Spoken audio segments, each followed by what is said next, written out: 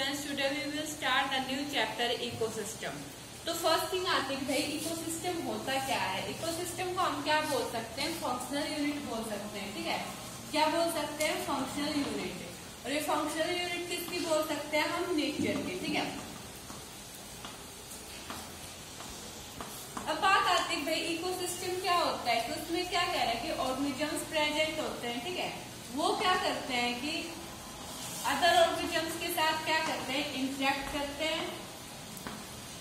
और क्या करते हैं? आपने जो सराउंडिंग होता है, ठीक है? सराउंडिंग में क्या करते हैं कि इंटरेक्शन करते हैं, ठीक है? देखो इकोसिस्टम को हम क्या बोल सकते हैं कि भाई फंक्शनल यूनिट है, किसकी नेचर क्या है? और इसमें क्या होता है कि भाई जो ऑर्गेनिजम्स प्रेजेंट होते हैं, और ऑर्गेनिजम्स क्या करते हैं? एक तो खुद के साथ ऑर्गेनिजम्स के साथ इंटरेक्ट करते हैं, और क्या कह रहा है कि, और अपने एनवायरमेंट के साथ क्या करते हैं कि इंटरेक्ट करते हैं, ठीक है?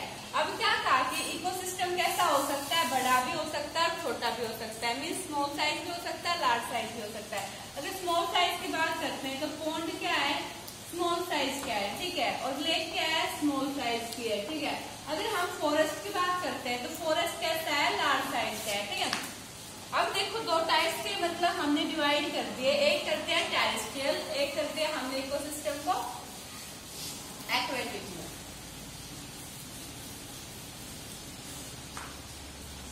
इकोसिस्टम को हमने दो कैटेगरीज में डिवाइड कर दिया एक में तो क्या कर दिया टेरेस्ट्रियल अब हमने क्या किया कि जो इकोसिस्टम है उसको इकोसिस्टम को हमने दो कैटेगरीज में डिवाइड कर दिया एक तो क्या कर दी टेरेस्ट्रियल एक क्या कर दिया कि एक्वेटिक तो टेरेस्ट्रियल में क्या क्या आता है भाई फॉरेस्ट आ जाएगा ग्रास लैंड आ जाएगा और डेजर्ट आ जाएगा। ठीक है, ये क्या है हमारे पास? इकोसिस्टम का हमने दो पार्ट में डिवाइड किया था, ठीक है? अब एक्वेटिक में क्या क्या आ सकता है? पोन्ड आएगा लेक आएगा वेटलैंड आ जाएगा रिवर आ जाएगा, ठीक है? अब देखो, अब बात करते हैं हम एक चीज़ आती है टर्म आती है स्टार्टिफिकेशन क्या आती है स्टार्टिफिकेशन स्टार्टिफिकेशन में क्या होता है? वर्टिकल क्या होता है कि वर्टिकल डिस्ट्रीब्यूशन होता है।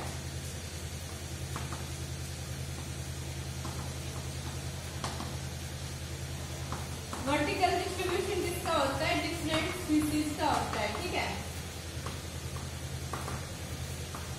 और कहा होता है डिफरेंट लेवल्स पे। ठीक है? स्टार्टिफिकेशन में क्या होता है कि भाई वर्टिकल वर्टिकल मतलब क्या होता है कि खड़ा और हॉरिजॉन्टल क्या होता है कि खड़ा तो वर्टिकल डिस्ट्रीब्यूशन होता है किसका? डिफरेंट स्पीसीज का होता है कहा होता है कि डिफरेंट लेवल्स का होता है, ठीक है?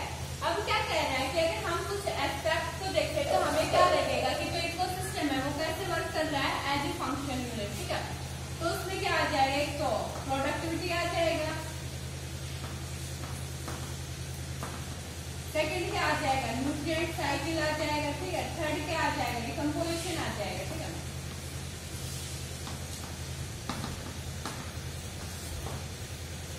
ये क्या कह रहा है कि कुछ ऐसे एस्पेक्ट हैं, ठीक है? प्रोडक्टिविटी न्यूट्रिएंट साइकिल डिकम्पोजिशन ठीक है? अगर हम इनको देखें तो क्या होगा कि भाई, जो हमारा इकोसिस्टम है, वो कैसे वर्क कर रहा है एज ए फंक्शनल यूनिट ठीक है?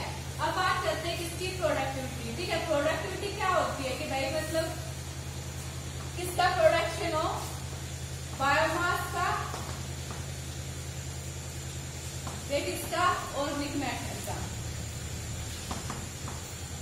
पर यूनिट एरिया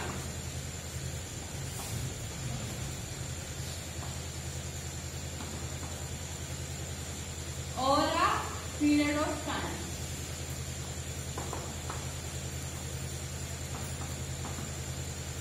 कब होता है ड्यूरिंग फोटोसिंथेसिस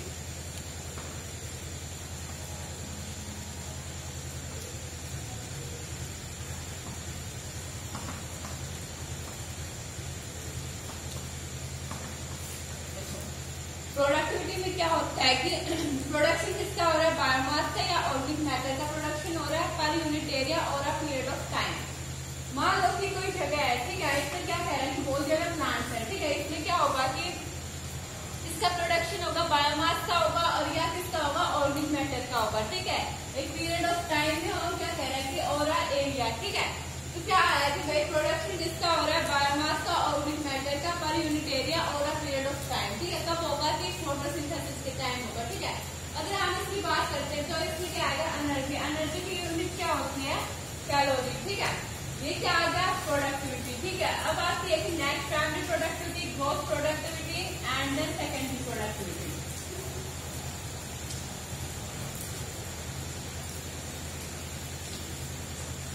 ये क्या है? ग्रोथ प्राइमरी प्रोडक्टिविटी देन क्या है? Net primary productivity and last में क्या है? सेकेंडरी प्राइमरी प्रोडक्टिविटी ठीक है?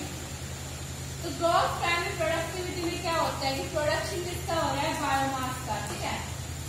क्या कह रहा है? प्रोडक्शन किसका हो रहा है? बायोमास का या ओमिक मैटर का? कब हो रहा है? फोटोसिंथेसिस के time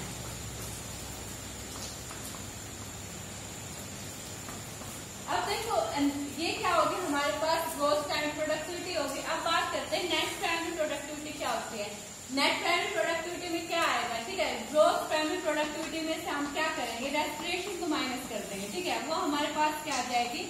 net primary productivity means क्या कह रहा है कि भाई, जो रेस्पिरेशन में भी क्या हो रही है भाई एनर्जी यूज़ हो रही है, ठीक है? हमने क्या कर दिया कि रेस्पिरेशन में जो एनर्जी यूज़ हुई, उसको हमने माइनस कर दिया किसमें से ग्रोथ प्राइमरी प्रोडक्टिविटी में। और वो हमारे पास क्या आ गई? नेट प्राइमरी प्रोडक्टिविटी ठीक है? उसके बाद आता है कि सेकेंडरी प्राइमरी प्रोडक्टिविटी इसमें भी क्या होता है किसका प्रोडक्शन हो रहा है ऑर्गेनिक मैटर का और वो किसके द्वारा हो रहा है सेकेंडरी कंज्यूमर देखो ग्रोथ प्राइमरी प्रोडक्टिविटी में क्या हो रहा है कि प्रोडक्शन किसका हो रहा है कि ऑर्गेनिक मैटर का हो रहा है कब हो रहा है फोटोसिंथेसिस के टाइम ठीक है? अगर हम नेक्स्ट टाइम प्राइमरी प्रोडक्टिविटी की बात करते हैं तो देखो हमारे क्या हो रहा है कि डेस्टिनेशन में भी क्या होता है कि एनर्जी यूज़ होती है। तो हमने क्या किया कि ग्रोथ प्राइमरी प्रोडक्टिविटी में क्या माइनस कर दिया रेस्पिरेशन को माइनस कर दिया। और हमारे पास क्या आ गई? नेट प्राइमरी प्रोडक्टिविटी अब बात करते हैं कि सेकेंडरी प्राइमरी प्रोडक्टिविटी में क्या होता है कि प्रोडक्शन किसका होगा? ऑर्गेनिक मैटर का होगा। और किसके द्वारा होगा कि सेकेंडरी कंज्यूमर्स के द्वारा होगा। ठीक है? ये क्या था? कुछ प्रोडक्टिविटी के बारे में। अब बात करते हैं किसके बारे में? डिकम्पोजिशन के बारे में।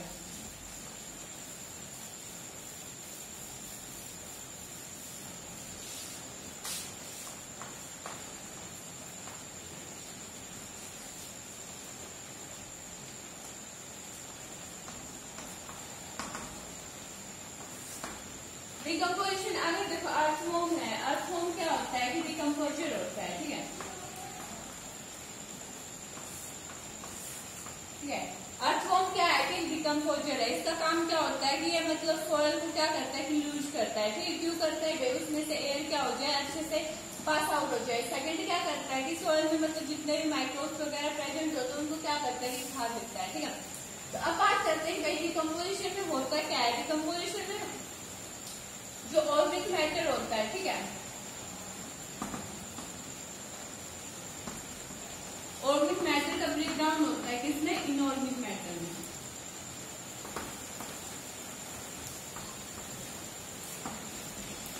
डिकम्पोजिशन में क्या होता है कि ऑर्बिक मैटर का ब्रेक डाउन हो रहा है किसमें इनऑर्बिक मैटर में हो रहा है by the help of the decomposition उसे हम क्या बोलते हैं कि डिकम्पोजिशन है, ठीक है? अब देखो क्या कह रहा है कि डर्टीज क्या आती है, एक टर्म आती है डर्टीज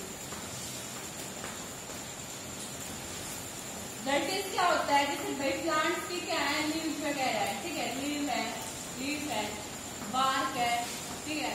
या फ्लोवर्स है। और एनिमल्स में क्या हो जाएगा?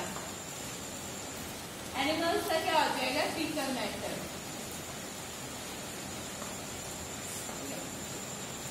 प्लांट्स के जो रिमेन्स बचे होते हैं, जैसे कि लीफ है पार्क है फ्लोर है एनिमल्स में क्या आ गया एनिमल्स के रिमेन्स क्या आ फीकल मैटर इन सबको हम क्या बोलते हैं भाई ये क्या है? हमारे पास ब्लड पीस है, ठीक है? अब देखो, क्या कह रहा है कि तीन चार सीक्वेंस आती है टर्म्स आती हैं।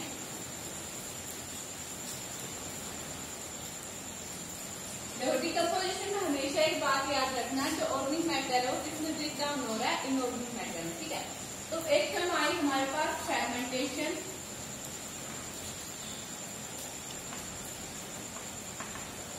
सेकंड क्या है? ब्लीचिंग थर्ड क्या है? कैटाबोलिज्म फोर्थ क्या है? हमारे पास इन्वेस्टिगेशन लास्ट इसका मिल जाएगी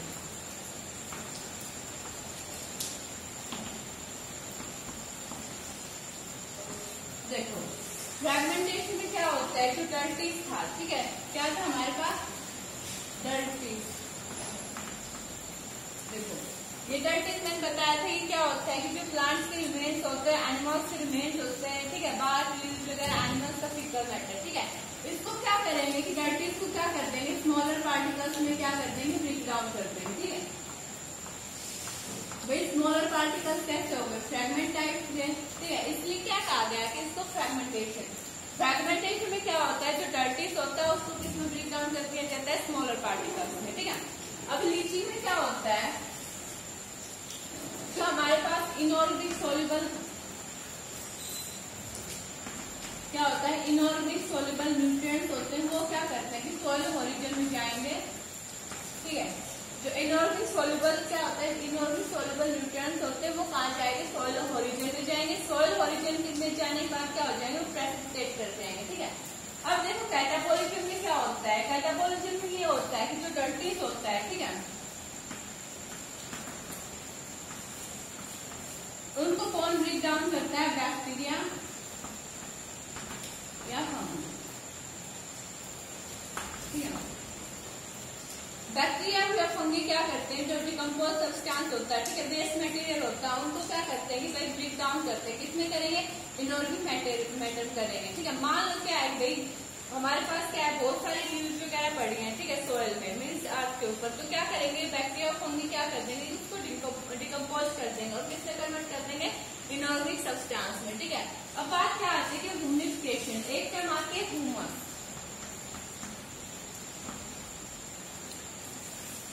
हुमस क्या होता है कि डार्क कलर का अमल्फा सब्सटेंस होता है और ये चीज़ क्या होता है कि इसमें बहुत ज़्यादा न्यूट्रिएंट्स प्रेजेंट होते हैं, ठीक है? अगर सोयल में क्या होगा तो बहुत ज़्यादा हुमस प्रेजेंट होगा तो मीन्स क्या है कि भाई सोयल क्या होगी बहुत ज़्यादा फर्टाइल होगी, ठीक है? तो ह्यूमिफिकेशन में क्या हो रहा है कि हुमस की फॉर्मेशन हो रही है, ठीक है? हुमस कैसा है? डार्क कलर का है, ठीक है? डार्क कलर का अमल्फा सब्सटेंस है। सेकंड थिंग क्या कह रहा है कि बहुत ज़्यादा न्यूट्रिएंट्स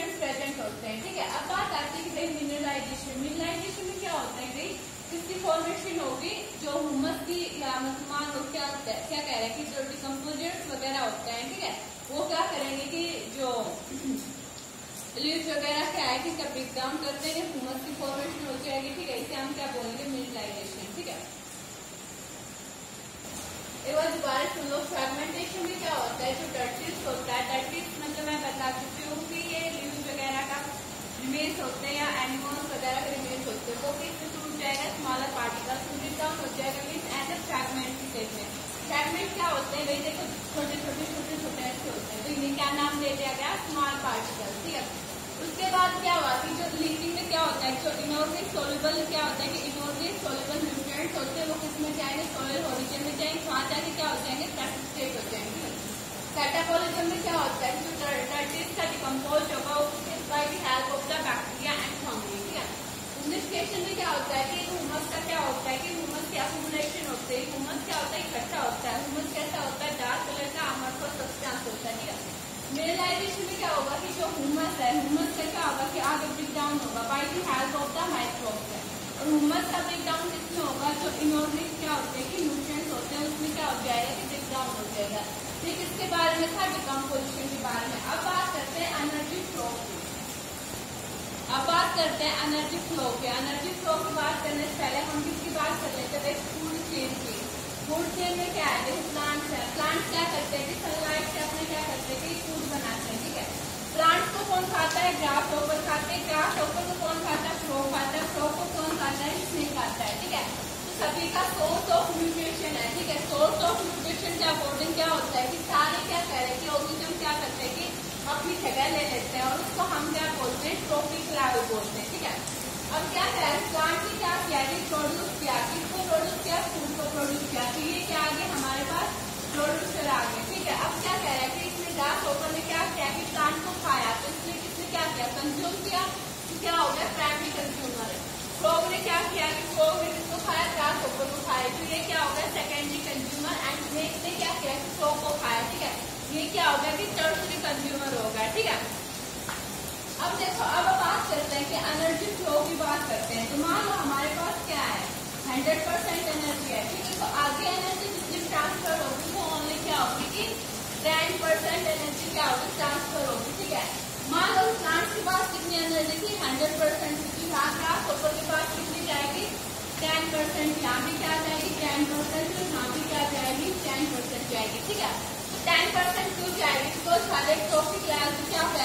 एनर्जी क्या हो रही है? कि रिलीज़ हो रही है ठीक एनर्जी यूज़ हो रही है, किसमें हो रही है? एक्सप्रेशन आ गया रेस्पिरेशन आ गया mean other metabolic energy other metabolic activities होती है, उसमें क्या हो जाएगी एनर्जी यूज़ हो जाएगी। इसमें क्या कह रहा है कि प्लांट्स क्या करते हैं? प्लांट्स ने क्या क्या प्रोड्यूस किया गार्ड ओपन कंज्यूम किया फ्रोक ने क्या किया?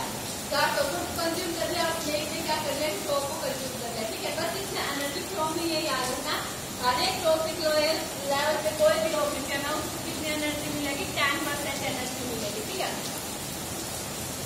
अब देखो, उन्होंने तो क्या क्या? प्रोड्यूसर हो गए ठीक है? इसको हम क्या बोलते हैं? ऑटोट्रॉप बोल सकते हैं, ठीक है?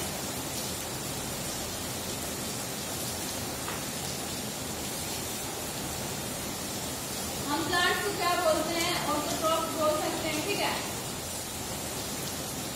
इसे हम क्या बोल सकते हैं? हार्बीवोर्स बोल सकते हैं। और ये दोनों क्या हो जाएँगे? कार्निवोर्स ऑटोट्रॉप मीन्स क्या कह रहा है कि इन्होंने हमें फ़ूड खुद बनाया हार्बीवोर्स क्या कह रहा है कि ये मतलब क्या खा रहे हैं? ग्रीन प्लांट्स खा रहे हैं। कार्निवोर्स क्या कर रहे हैं कि भाई ये फ्लैट खा रहे हैं, ठीक है? तो इसके बारे में था कि एनर्जी फ्लो पहले फ़ूड चेन को समझ लो, ठीक है? उसके बाद क्या है एनर्जी फ्लो में बस सिंपल सा है हर एक टॉपिक लेवल पे क्या होगी टेन परसेंट एनर्जी होने ट्रांसफ़र होगी, ठीक है? आज के लिए बस इतना